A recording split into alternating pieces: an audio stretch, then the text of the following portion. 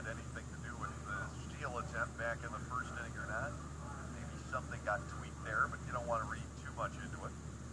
Here is Wilfredo Rodriguez, the catcher. The lead off the third. Tanner Peters delivers, and that ball is hit away to right center field. It is carrying way back. It goes, and the walls will not contain it. That is a home run to center field for Wilfredo Rodriguez, his first home run of the season. And boy, that was a now in favor of the Sugar Land Skeeters. That ball just picked up